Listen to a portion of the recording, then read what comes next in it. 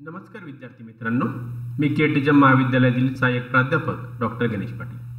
विद्यार्थी मित्रांनो आपण ऑडिटिंग अँड टॅक्सेशन या विषयातील अंकेक्षणामधील प्रकरण पाच संगणकीय पद्धतीचे अंकेक्षण यामधील ईडीपी परिस्थितीतील समस्या या घटकाचा आज आपण अभ्यास करणार आहोत.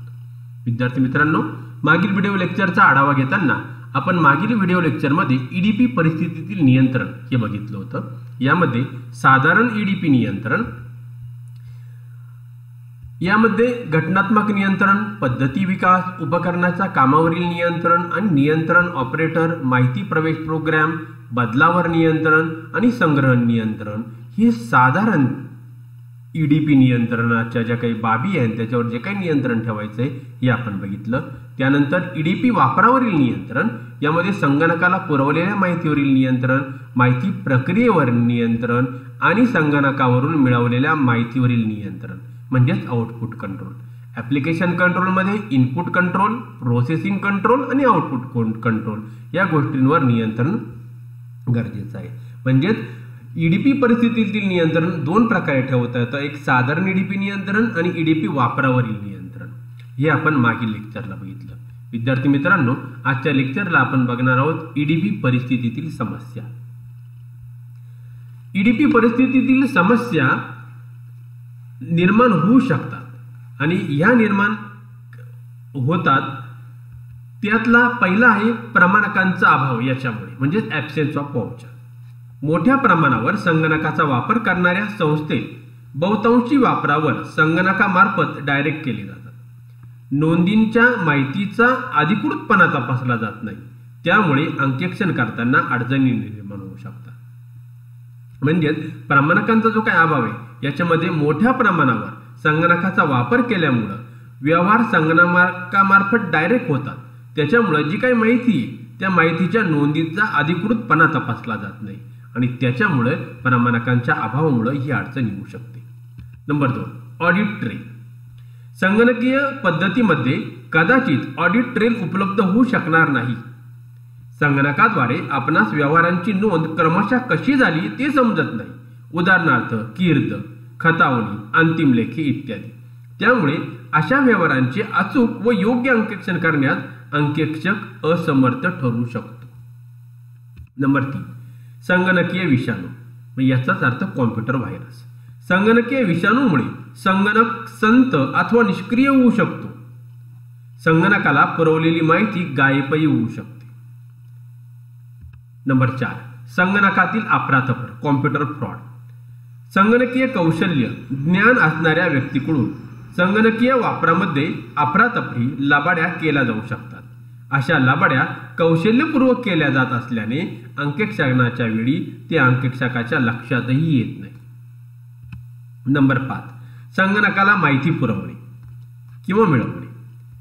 इनपुट वर्सेस आउटपुट संगणकाला जर चुकीची माहिती पुरवली गेली तर अर्थातच मिळणारी माहिती देखील चुकीची मिळते. त्याला चुका शोधून काढणे अवघड होते. म्हणजेच आपण संगणकाला जशी माहिती पुरवू चुकीची माहिती पुरवली तर आउटपुट पण आपल्याला चुकीचंच मिळेल. म्हणून जशी माहिती आपण संगणकाला पुरवू तसंच आउटपुट आपल्याला मिळेल. नंबर सहा.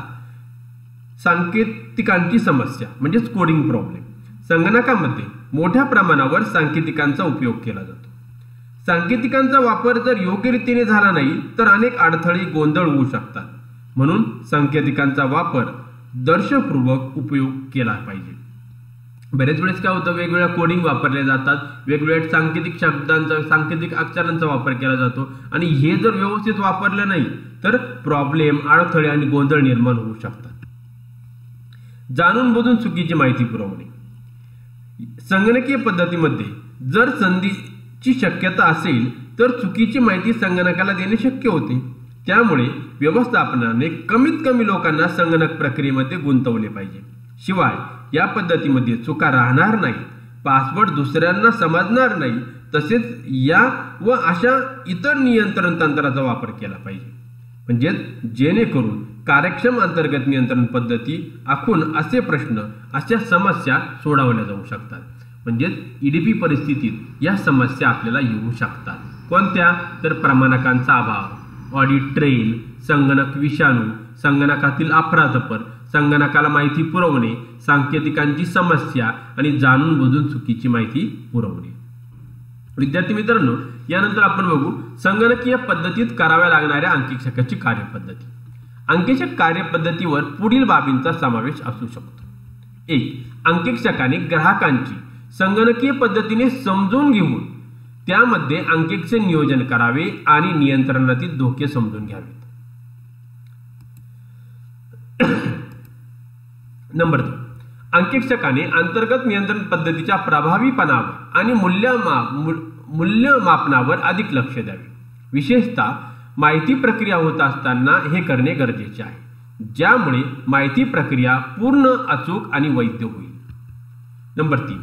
अंकेक्षकाने प्रत्येक व्यवहारांचे प्रामाणिकरण करणे गरजेचे नाही. फक्त त्याने एकूण पृथ्वकरणात्मक तपासणी करणे अपेक्षित असते. जर अंकेक्षण संस्थेच्या अंतर्गत नियंत्रण पद्धतीबाबत समाधानी असेल तर त्याने माहितीच्या आधारे म्हणजे अचूक डाटाच्या आधारे गणितीय अचूकतेबाबत विश्वास ठेवायला हरकत नाही. परंतु जर त्याला अंतर्गत नियंत्रण पद्धतीत काही त्रुटी दोष आढळल्या तर त्याने त्यावेळीच व्यवस्थापनाच्या लक्ष लक्षात आणून देणे आवश्यक आहे.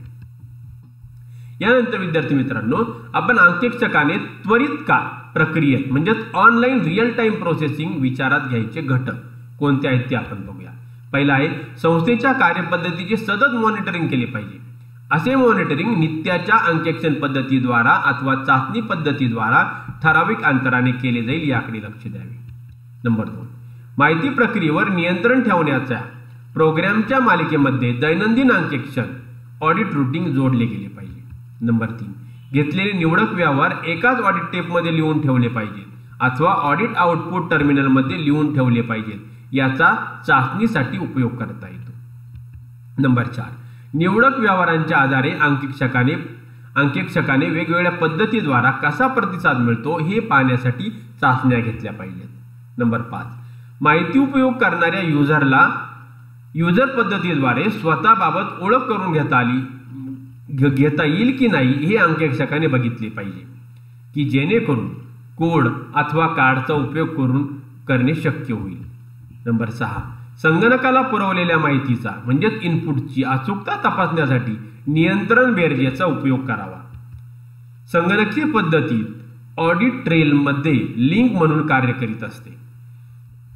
या पद्धतीने ऑनलाईन रिअल टाइम प्रोसेस विचारात घ्यायची ही घटक आहेत विद्यार्थी मित्रांनो या व्हिडिओ लेक्चरमध्ये तुम्हाला आपण जे काही दोन गोष्टी शिकलो ती म्हणजे पहिले ईडीपी परिस्थितीतील समस्या आणि संगणकीय पद्धतीत कराव्या लागणाऱ्या अंकिक्षकाच्या कार्यपद्धती यावरच तुम्हाला टिप लिहायची आहे.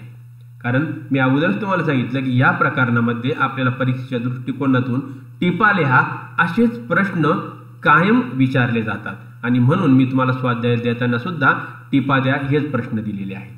विद्यार्थी मित्रांनो या व्हिडिओ लेक्चर्समध्ये तुम्हाला जर काही अडचण असतील मला काही प्रश्न विचारायचे असतील तर तुम्ही मला माझ्या ईमेल ॲड्रेसवरती प्रश्न मला विचारू शकतात. माझा ईमेल ॲड्रेस आहे Ganesh Patil at the rate K T M college dot A C dot in thank you thank you